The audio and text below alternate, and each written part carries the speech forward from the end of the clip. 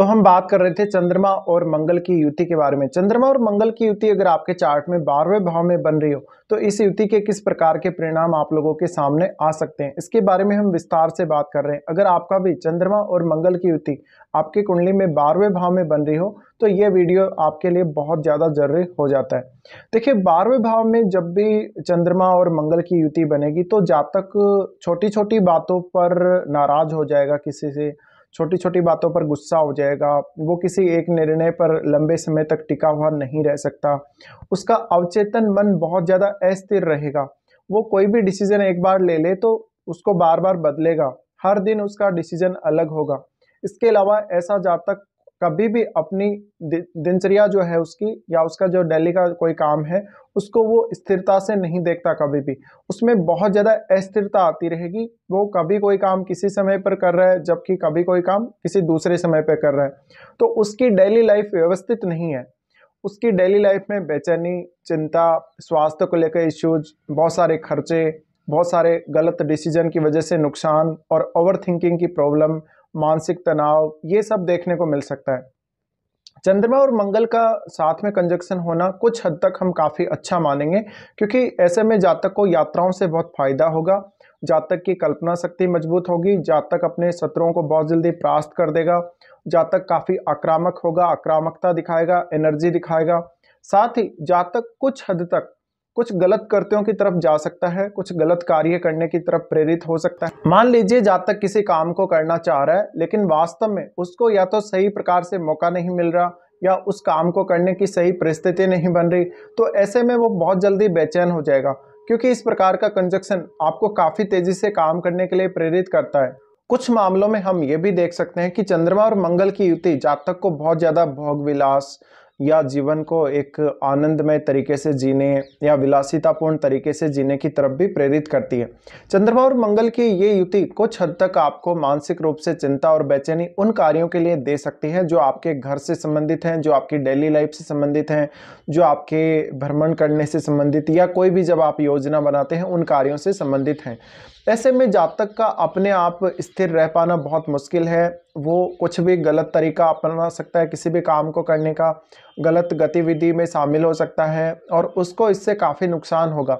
जातक अक्सर दूसरों पर अपना रोब जमाएगा और कभी कभी वो गलत तरीके से किसी को ट्रीट कर सकता है। जातक को मुख्य रूप से ओवर थिंकिंग की प्रॉब्लम या गुस्से की प्रॉब्लम बहुत ज़्यादा रहेगी। इस प्रकार का जातक विदेश में काफ़ी बार जा सकता है। विदेश यात्रा का मौका उसको बहुत ज़्यादा मिलेगा। इवन जातक को अपने देश में भी काफ़ी भ्रमण के मौके मिल सकते हैं। पर उसको कुछ ना कुछ ऐसा कार्य उसकी लाइफ में हो जाएगा या कोई ऐसी घटना उसकी लाइफ में हो जाएगी जहाँ पर उसको बार बार नुकसान हो रहा है। उस नुकसान की वजह से मानसिक रूप से चिंता या बेचैनी उसकी लाइफ में उत्पन्न हो रही है। चंद्रमा और मंगल का बारहवें भाव में स्थित होना जातक को बहुत ज़्यादा कल्पना शक्ति देगा। काल्पनिक रूप से बहुत मज़बूत बनाएगा। ऐसा जातक कोई भी बड़ा स्पीकर हो सकता है, बहुत ही क्रिएटिव वर्क करने वाला ऐसा जातक हो सकता है।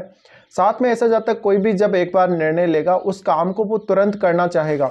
वो किसी भी काम को पूरा करने के लिए वेट नहीं कर सकता, किसी भी काम के लिए उसके अंदर धैर्य नहीं होगा।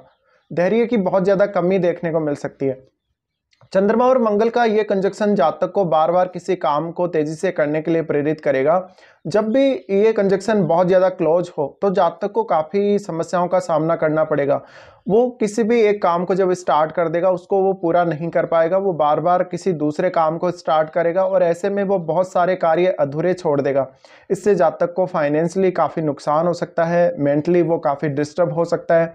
ऐसे जातकों में हम ये भी देख सकते हैं कि ये बहुत ज़्यादा शॉर्ट टेम्पर्ड होते हैं, मन इनका शांत नहीं रहता, ये अक्सर अपने फ़िज़िकल वर्कआउट पे बहुत ज़्यादा ध्यान देंगे, अपने आप को फिजिकली स्ट्रॉन्ग बनाने पर बहुत ज़्यादा ऐसे जातक ध्यान देते हैं।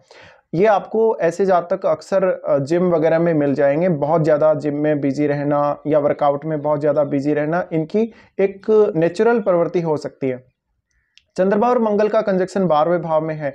तो जातक को भूमि से संबंधित विवादों का सामना करना पड़ सकता है और जातक को अपने घर या परिवार को छोड़कर कहीं दूर रहना या बसना पड़ सकता है। चंद्रमा और मंगल के इस कंजक्शन की वजह से जातक कुछ हद तक अपने आप को लेकर बहुत बेचैन रहेगा। वो अपने ऊपर कभी कभी आत्मविश्वास नहीं दिखा पाएगा। जब भी वो कोई नया काम कर रहा है या वो कोई नए काम की प्लानिंग कर रहा है, वहाँ पर वो व्यवस्थित तरीके से उस काम को नहीं कर पाएगा। तो ये जो कंडीशंस है, ये जो स्थितियाँ हैं, जातक को काफ़ी परेशान कर सकती हैं, उसकी डेली लाइफ को बहुत ज़्यादा इफ़ेक्ट कर सकती हैं। जब भी इस प्रकार की स्थिति बने तो जातक काफ़ी क्रूर हो जाएगा, आक्रामक हो जाएगा, गुस्से में आकर वो अपना खुद का ही नुकसान कर लेगा। इस प्रकार से जातक की मानसिक प्रवृत्ति अच्छी नहीं दिखती। उसमें बहुत ज़्यादा आवेग की प्रधानता, उसके भावनाओं में बहुत ज़्यादा आवेग की प्रधानता दिखती है। चंद्रमा जब भी मंगल के साथ स्थित होते हैं। ऐसे में आपकी भावनाओं पर चंद्रमा का पूरा प्रभाव होता है, लेकिन मंगल का भी पूर्ण रूप से प्रभाव होता है। ऐसे में भावनाएँ बहुत ज़्यादा तीव्र हो जाती हैं। अपने ऊपर खुद पर कंट्रोल करना काफ़ी मुश्किल हो जाता है। अपनी भावनाओं पर कंट्रोल करना मुश्किल हो जाता है। अपने विचारों और मन पर कंट्रोल करना काफ़ी मुश्किल हो जाता है जातक के लिए। इस प्रकार से बहुत सारे ऐसे विचार आपके मन में आएँगे जो वास्तव में सही नहीं होंगे या आपको मानसिक रूप से वो परेशान करेंगे। चंद्रमा और मंगल की बारहवें भाव में युति है तो जातक को हर रिश्ते में बहुत ज़्यादा अटैचमेंट रहेगी। जातक दूसरों के लिए अपनी लाइफ को दान कर सकता है, वो अपनी कोई भी चीज़ दूसरों को दान कर सकता है। इवन वो किसी की सहायता भी कर देगा तो बदले में कुछ लेगा नहीं। तो ऐसा जातक बहुत दानशील भी हो सकता है, दानी भी हो सकता है, दूसरों की हेल्प करने वाला हो सकता है, लेकिन बदले में इनको कोई भी अप्रिसिएशन या किसी प्रकार की सहायता नहीं मिलेगी। चंद्रमा मंगल के साथ यहाँ है तो जातक को अपने भाई बहनों के साथ अच्छे रिश्ते रखने चाहिए, वरना जातक को बहुत ज़्यादा विवाद का सामना करना पड़ सकता है। इवन जातक अपने कार्य क्षेत्र में भी अगर अच्छा प्रदर्शन कर रहा हो तो वह काफ़ी ज़्यादा संतुष्ट और खुश रहेगा।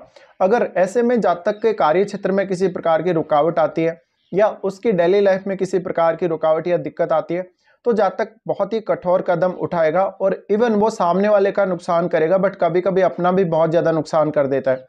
इस प्रकार का जातक किसी को भी सबक सिखाने में काफ़ी माहिर हो सकता है। ये युद्ध में माहिर हो सकते हैं, हथियारों से जुड़े हुए कार्यों को करने में माहिर हो सकते हैं, किसी भी प्रकार के स्पोर्ट्स से जुड़े हुए कार्यों में माहिर हो सकते हैं। इस प्रकार के जातक डिसीज़न लेने में बहुत ज़्यादा जल्दी करेंगे और ये इनके लिए कभी कभी बहुत बड़ी समस्या बन जाता है। जब भी इस प्रकार की स्थिति हो, आपको चंद्रमा को मज़बूत करना चाहिए, चंद्रमा को बहुत ज़्यादा स्ट्रॉन्ग करना चाहिए और कोशिश करनी चाहिए कि आप किसी भी एक काम को जब करने जा रहे हैं या किसी भी काम के लिए प्लानिंग कर रहे हैं तो वहाँ पर अपना पूरा फोकस करें। ना कि आप उस काम को छोड़कर किसी और काम के बारे में सोचें। तो यहाँ पर जब तक पैसेंस नहीं रख पाता। चंद्रमा और मंगल की युति अगर आपकी कुंडली में बारहवें भाव में है तो ये रिश्तों में काफ़ी नुकसान करेगी, क्योंकि आप बहुत ज़्यादा एक्सपेक्टेशन अपने हर रिश्ते में रखेंगे और ये आपके लिए बहुत ज़्यादा परेशानी का कारण बनेगा। हर रिश्ता आपसे कुछ ना कुछ लेगा, आपसे कुछ ना कुछ वो एक्सपेक्ट कर रहा है। जबकि आप भी हर कुछ किसी भी रिश्ते में जब एक्सपेक्ट कर रहे हैं तो वो चीज़ आपको मिले या ना मिले।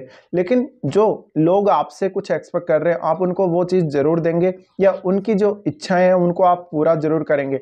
भले आपको खुद को नुकसान हो जाए, भले ही आपको नुकसान हो ना हो, इससे उनको कोई फ़र्क नहीं पड़ता। लेकिन इस केस में कभी कभी जातक का फ़ायदा भी बहुत लोग उठाते हैं।